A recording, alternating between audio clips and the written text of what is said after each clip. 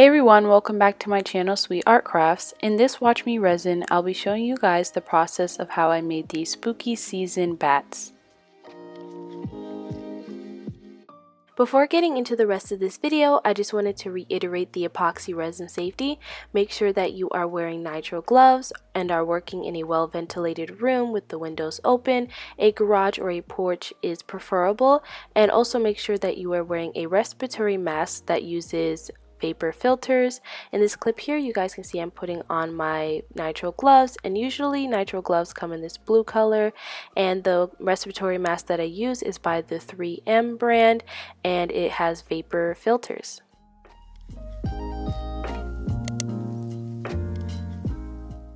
Here are the supplies that I will be using to make these charms for this video.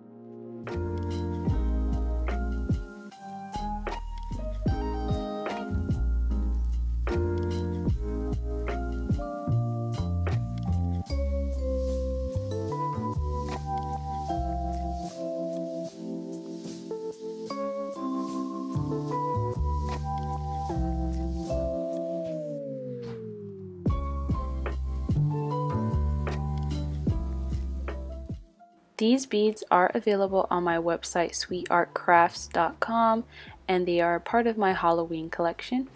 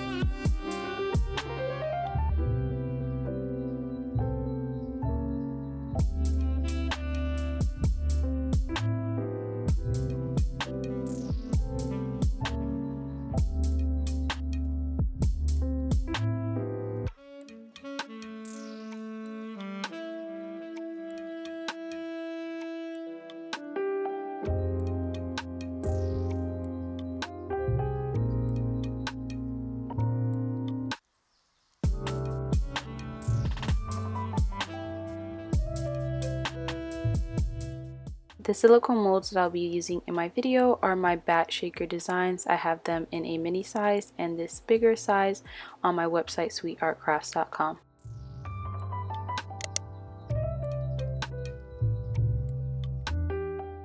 For the first layer, I'm going to start pouring the Clearcast 705 zero resin into a cup and then I'm going to mix the resin and the hardener together. This is a 2 to 1 ratio resin so you pour two parts of the resin and then one part hardener. I really do like this resin. I've been using it for a while now because in my last video I said it was my first time trying it out and I've been using it for a month now and I think it is my favorite resin so far.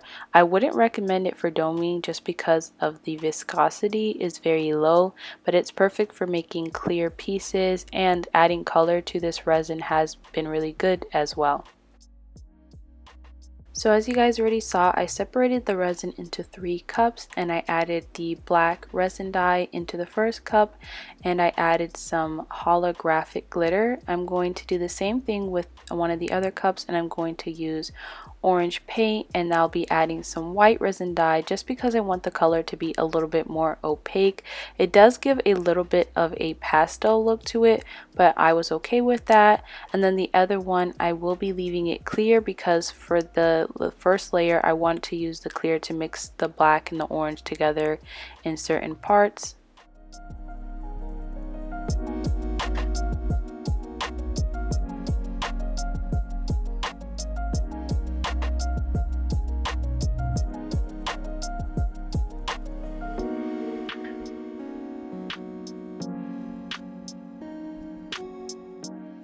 So I'm going to start off with the clear resin first and I'm just going to place it around the rim of the mold because I'm only doing the resin around the rim and then I'll be adding the black and orange. I do the clear layer first just so that it can make the colors mix a little bit better instead of just going in with the orange and black first.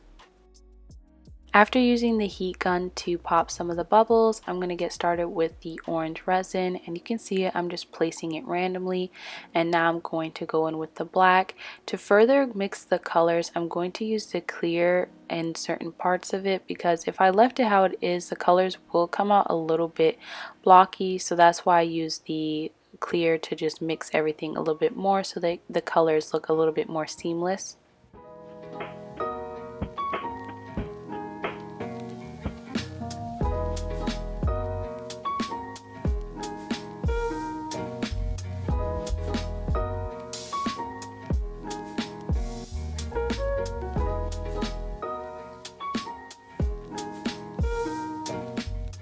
I'm just going to repeat the same steps with the bat at the top and then it's okay if there's resin on the cavity of the mold because we will just clean that up later once the resin has cured for a bit.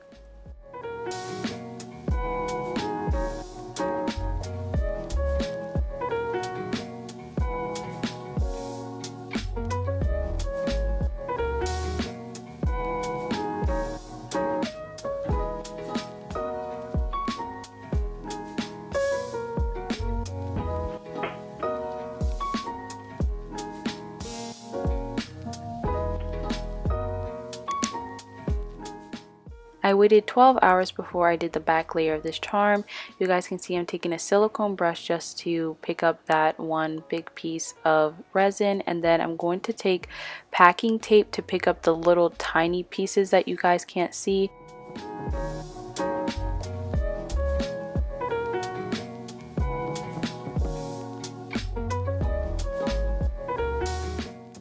For the back layer, I'll be using the same resin as I did earlier, and I forgot to mention at the beginning of the video, when I mix the resin and the hardener together, I do transfer it into another cup after 3 to 5 minutes of mixing because I want to make sure that the resin is completely mixed and pouring it into a new cup and mixing it again for another two minutes allows the resin to really be fully mixed and I noticed that I don't have as many problems as I did before where my resin wasn't always mixed and I would get soft pieces.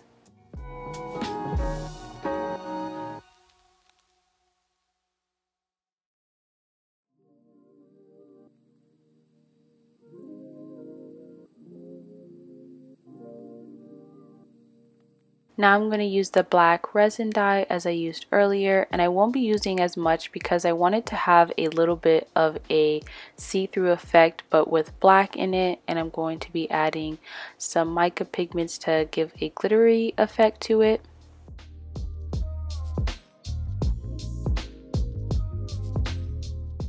As I was pouring the resin for the back layer of the charms, I decided to add a couple of more drops of the black resin dye and I hardly mixed it so that it can give this wispy effect to the back of the charms.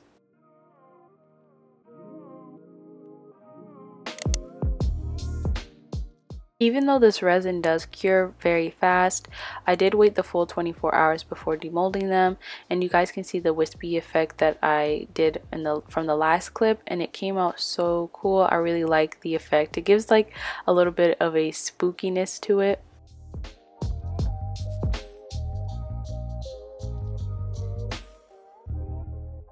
So to make the little balls that were in the shaker part of the charm, I used polymer clay and then I used rubbing alcohol to roll them into the ball form. When I first did this method in one of my other videos, um, somebody recommended that I use rubbing alcohol instead of water and I really prefer the rubbing alcohol. It does bleed the color just a little bit, but it does make it easier to make the ball form. It didn't take as long as it did with the water and I never knew you could use rubbing alcohol with polymer polymer clay. So thank you to that person.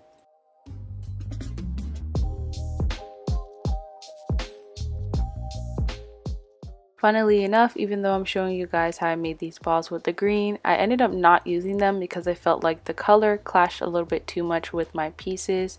But here are all of the balls done and I'm going to bake them in the oven on a baking tray for about 3 to 6 minutes at 300 degrees Fahrenheit. You don't want to bake them too at a higher temperature because they will burn. I have done this multiple times where they've turned out black and I was just so sad. But here they are done and now I'm going to start filling my charms. I got these cobweb um, pieces at Dollar Tree and this was like over a year ago. So and when I went back the other day I did not see them but you can easily find them on Etsy and then the beads are beads that I sell on my website.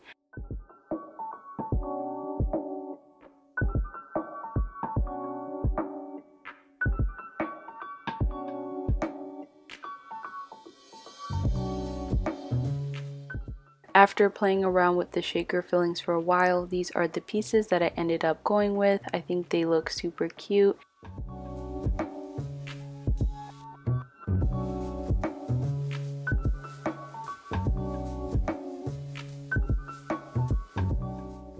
Give it an even more glittery effect, I did add some black glitter into the shaker portion. For these charms, I decided to try out a new way in how I fill them. One of my subscribers recommended that I watch Amy Made here on YouTube. She has been working with resin for a long time and she has very informational videos. In her shaker tutorial, she had a second method where you do not have to drill into the actual charm. I have tried out a few different ways that I've seen other people do it, but they just didn't work out for me, but this way did and I really love it because it was simple. So I already traced the charms with my Sharpie pen and I wiped them clean with rubbing alcohol. Now I'm going to take a 1 16th inch hole puncher and I'm going to punch a hole in where I want to fill, fill the piece with baby oil. And after I've done that, I'm going to um, start gluing it onto the piece.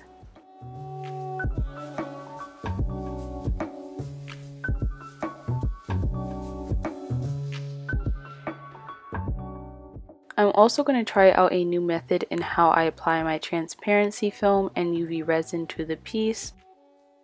Typically what I do is apply the UV resin to the charm and then just go in with the transparency over it. But the UV resin and the transparency film usually shift from where I want it to be and sometimes it goes over the edge and then the UV resin gets into the actual charm itself and when you're curing the UV resin it makes those pieces get stuck. As you guys just saw, I used a toothpick to apply the UV resin to a small portion of the charm and then I took my tweezers to make sure that it was centered perfectly and everywhere had the transparency film and it wasn't overhanging in certain areas and then certain areas didn't have enough. And then I cured it for with my UV light for about maybe 30 to 30 seconds to a minute and now I'm going to take the UV resin on a toothpick and go around the rim of the rest of the charm.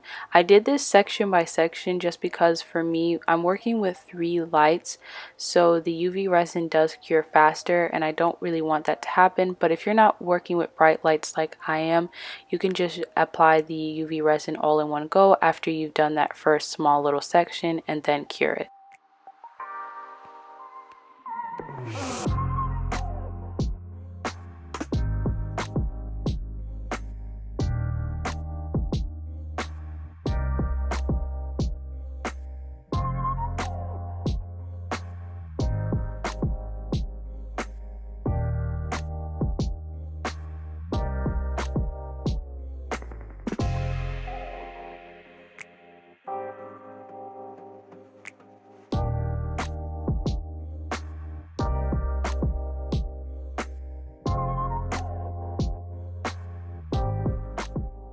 I repeated the same process on the smaller shaker bat as well and this is how they turned out before adding baby oil. Now I'm going to start adding baby oil into the charms. I used a precision tip bottle and I put it through the hole that I made with the hole puncher and I'm just adding the baby oil. You don't want to add too much baby oil because you want to leave a little bit of an air bubble so that the pieces are able to move around easily. And the only issue that I have with this method is that the baby oil will pour out onto the piece if you pour too much as well. So all you have to do is take rubbing alcohol and clean it. And now I'm taking a Q-tip with some more rubbing alcohol. I'm really cleaning the area where I put the baby oil through and I'm going to take my UV resin and put a dot of it there and quickly pick up my um, UV light to cure it. And this is how the charms turned out. I really love this method because I just think the charms look better without having too many holes in them from drilling so that you can fill them. But now I'm going to add some stickers onto the um, charms. I cut these out on my Cricut. I do have a tutorial on how I do this so click the iCard above. And now I'm going to clean the pieces first with rubbing alcohol so that there's no dust on them because right after I apply the stickers I'm going to go straight into doming. And I don't want to have to clean the stick the charms after I already applied the stickers because I don't want any of the paper towel um, stuff to get stuck onto there because it will you will be able to see it on the charms because I've done that before. So I just applied the um, stickers onto the charms. I used transfer tape to apply it. I don't think they're completely centered so I know that I didn't get it that way but oh well I'm going to get straight into doming the pieces. I will be using Pro Marine resin, which I don't even think I'll be recommending anymore for doming, just because I noticed that it does yellow easily now, or I don't know if it's the batch or whatever, but I've noticed that some of my older pieces they're yellowed even though they weren't even near sun. So I did buy a new resin for doming that Amy Made recommended. So I'll be using that in my next video which will be another Halloween um, type video. So I'm just not going to recommend this one but I'll be using it in this video anyway since I didn't even get it until today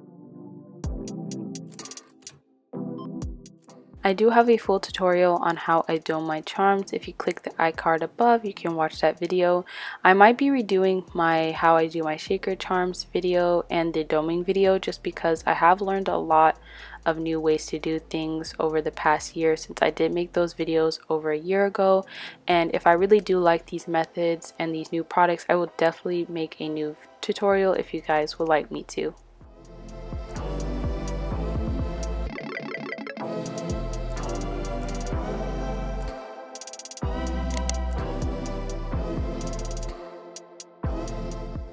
After 24 hours this is how the pieces look like with their dome.